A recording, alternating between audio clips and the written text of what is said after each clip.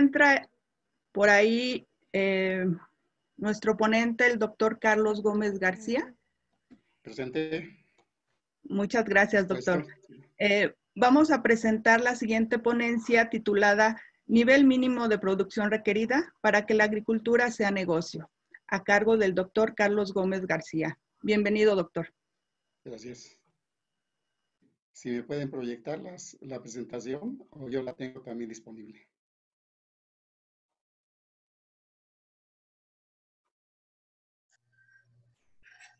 No se escucha. No, se escuchaba. Perdón, si me pueden ayudar con la presentación del doctor.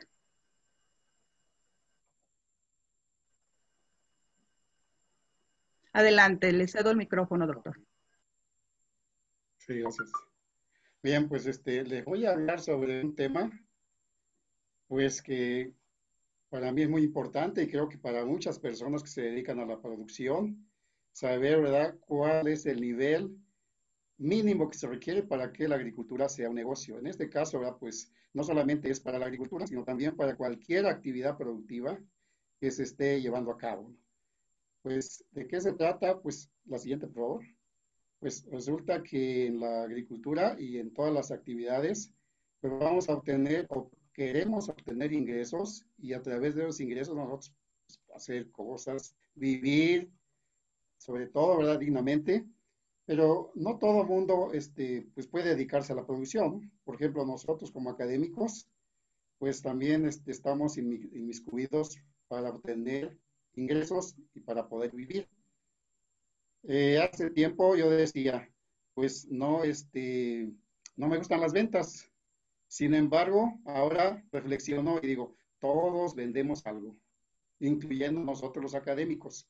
¿Qué es lo que vendemos nosotros? Ah, pues vendemos conocimientos, vendemos experiencia, vendemos asesoría, orientación a los muchachos. Algunos, este, la parte de la investigación, pues están vendiendo todo el proceso que se lleva a cabo para obtener este, ciertos resultados. Entonces, en la vida, pues todo es ventas, aunque no nos guste, ¿verdad? Pero realmente, por eso la universidad, pues nos da un ingreso a cambio de nuestros servicios.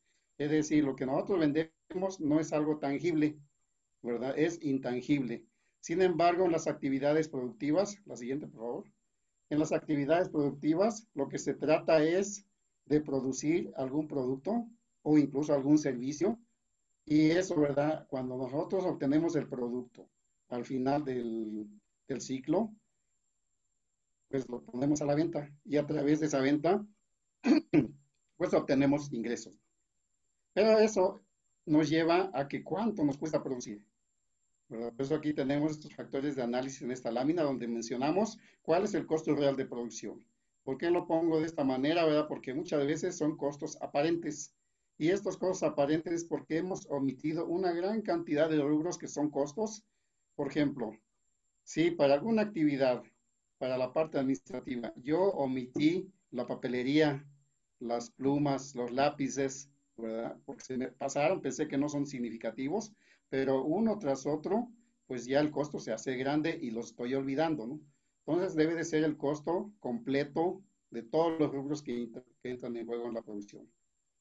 Y una vez, ¿verdad? Que tenemos ya el producto, bueno, ¿cuál es el valor de esa producción en el mercado? El valor, ¿verdad? Puede ser con subsidio o sin subsidio. En la agricultura, generalmente, muchos de los productos están subsidiados ahora con el famoso precio de garantía, la maquinaria también ha habido subsidios para ello, ¿no? Para adquisición de maquinaria. Y cuando tenemos el producto terminado, pues entonces vamos a ponerlo al mercado y la diferencia entre lo que podemos vender el producto menos lo que nos costó, pues lo vamos a llamar que es la rentabilidad o son las ganancias. La siguiente, por favor. Y aquí pongo en estos conceptos para hacer la diferencia entre inversión, diferencia entre costos, entre ganancias y gasto. Es muy importante saber esto. Por ejemplo, la, inversión pues tiene que ver con poner en juego cierta cantidad de dinero. Y este dinero, después de un tiempo, pues esperamos obtener un beneficio o un dinero extra. Entonces, eso le vamos a llamar inversión. Y los costos es el dinero que se invierte y se debe recuperar a través de los cargos calculados del costo total de producción y se carga a cada unidad de producto cosechado o producido, en este caso, si es que es otra actividad, que no sea la agricultura. Mientras que la ganancia, para que haya ganancias, el valor del producto en el mercado debe contener el costo total de producción más un extra que se llama ganancia.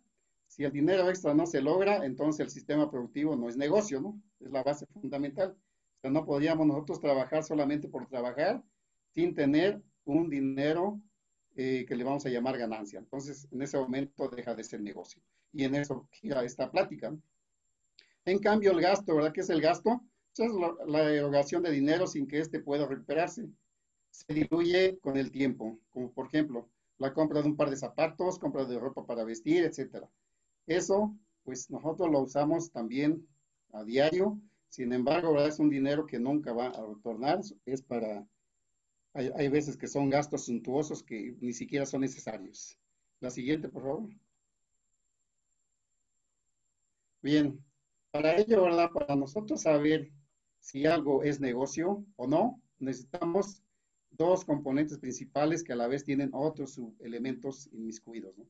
Uno es el costo total y otro es los ingresos.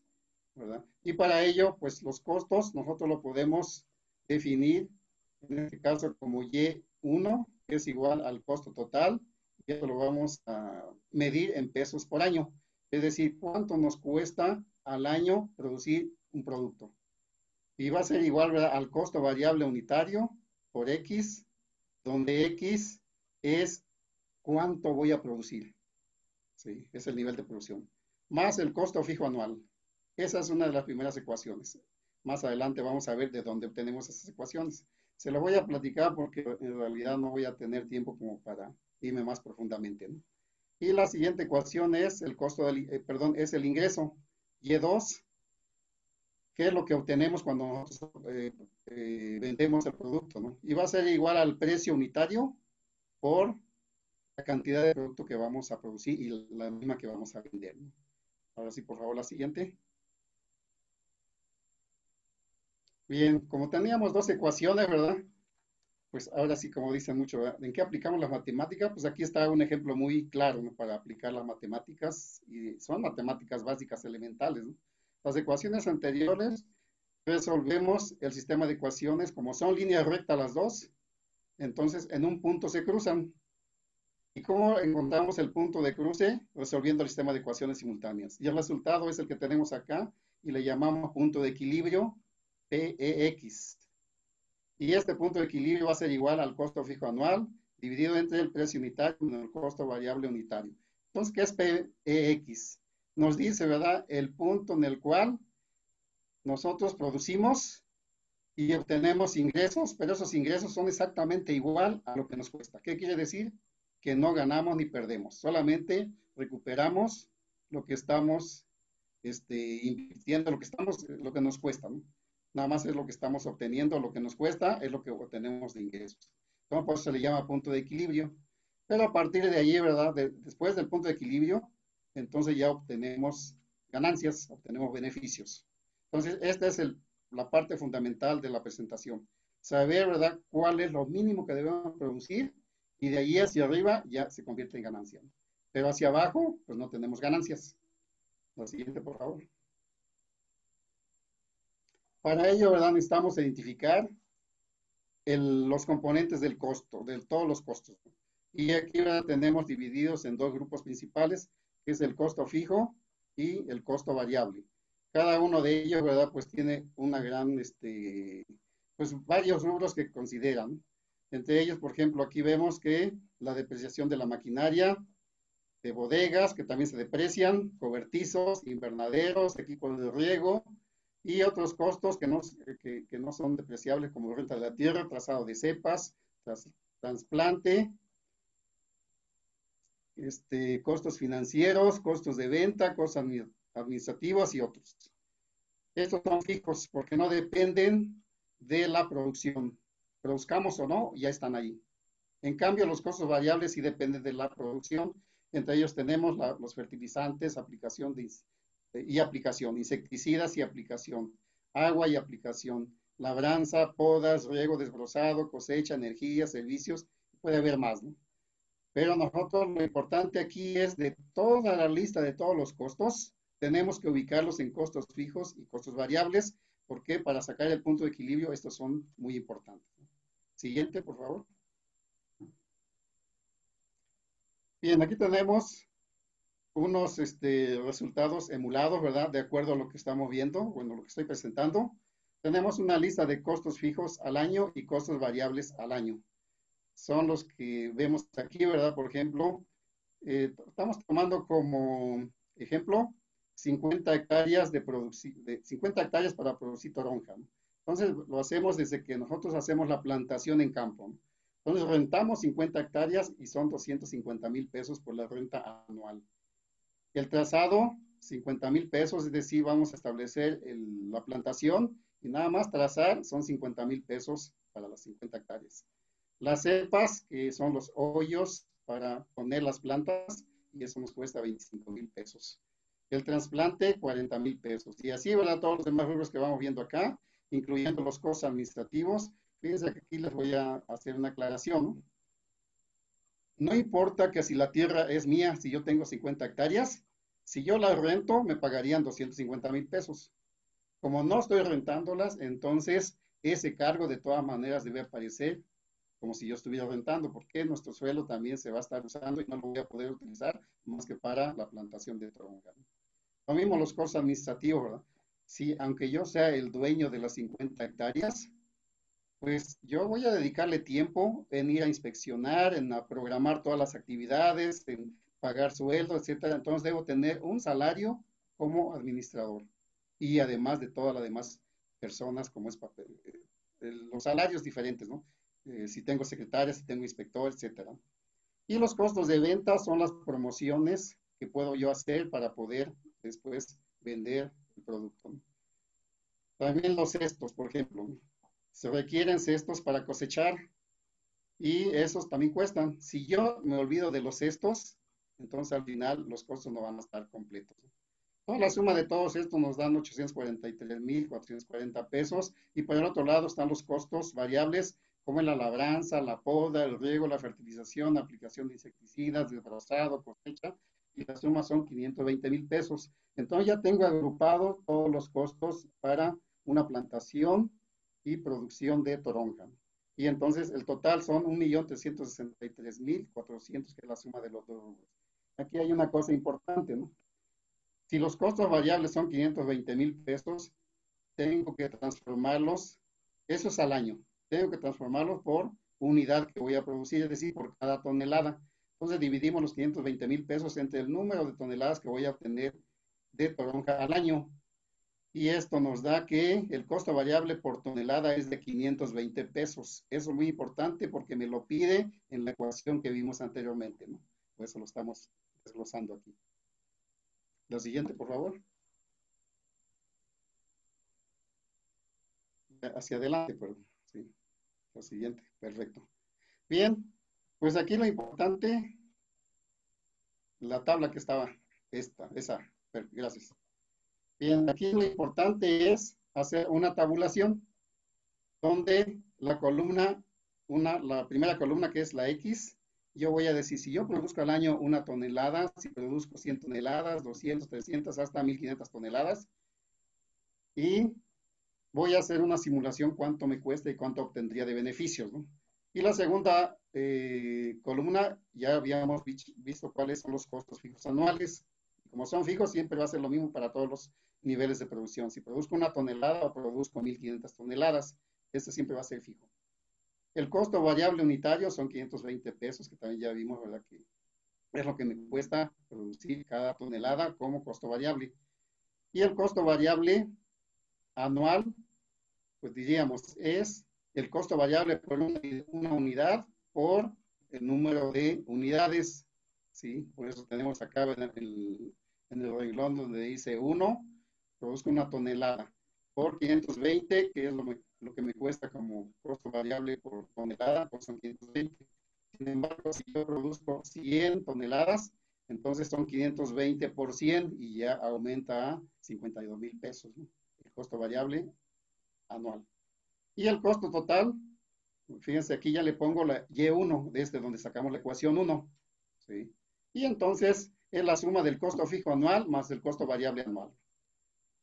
Y el costo unitario, entonces, es el costo total dividido entre el número de toneladas que voy a producir, entonces me, da el costo unitario. Y finalmente, Y2, que es la otra ecuación, son los ingresos. ¿Sí? Y aquí tomamos como referencia que si yo vendo una tonelada, voy a obtener 2.500 pesos por esa tonelada. Quiere decir que el kilogramo está a 2 pesos con 50 centavos. Un kilogramo de toronca. Eso depende de dónde lo vaya a vender. Si se vende en campo, si se vende con algún intermediario, si se vende en la central de abastos, en alguna tienda departamental o al menudeo. O sea, los precios van cambiando. Pero aquí nosotros estamos considerando que se va a vender, pues, en campo. Entonces son 250. Y si vendo, por ejemplo, mil toneladas, yo obtendría, mm, aquí estamos hablando que son 2 millones 500 mil pesos. Y así, ¿no? Esto, ¿por qué? Va? Porque con esta, con esta tabla nosotros construimos la ecuación Y1 y Y2. La siguiente, por favor. Y este es el resultado en forma gráfica, ¿no? De la tabla que vimos. Entonces vemos que la línea que está en color gris es el costo total.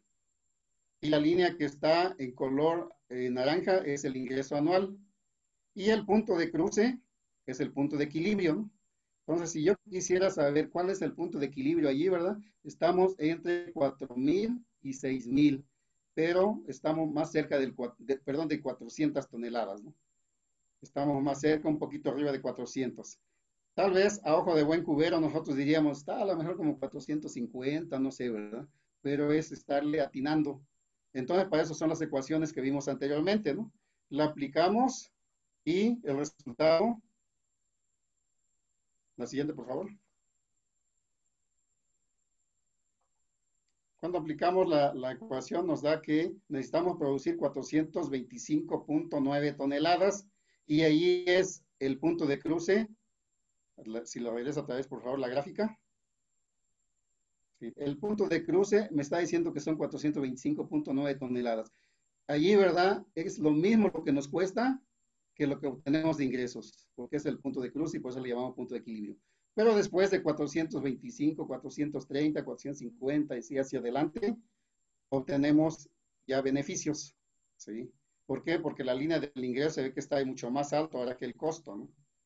Regresamos a la, a, la, a la que sigue, por favor. Y esto, ¿verdad? 400, eso ya me da una idea cuánto debo producir de toronga para que sea negocio no debo producir menos de 420, 426 toneladas. Y ahí solamente estoy obteniendo lo que, lo que cuesta, es lo que obtengo de ingresos. No gano ni pierdo. Pero después de ahí hacia adelante ya eh, empieza a haber beneficios.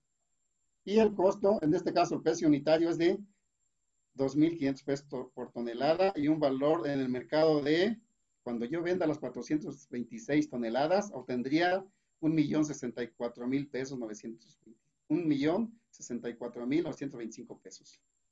Entonces se observa que para que la toronca sea rentable se debe producir por encima de 425.9 toneladas. Sin embargo, el nivel de producción para 50 hectáreas es de mil toneladas.